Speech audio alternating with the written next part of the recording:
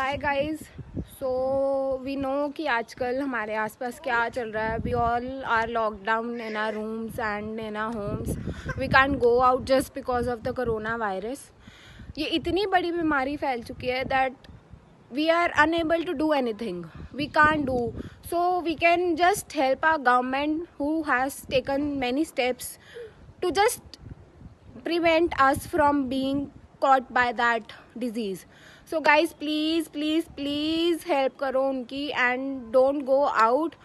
छोटे से precautions हैं we are going to take and uh,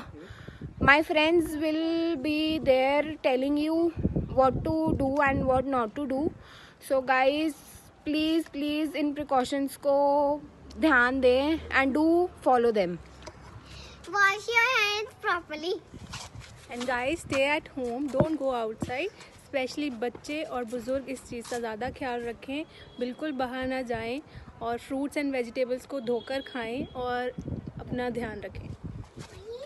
Guys sanitise your hands properly and cover your nose and mouth with mask cut your nails properly cause virus can stay in your nails and be safe and be healthy so guys as we know जान है तो जहान है stay home stay safe.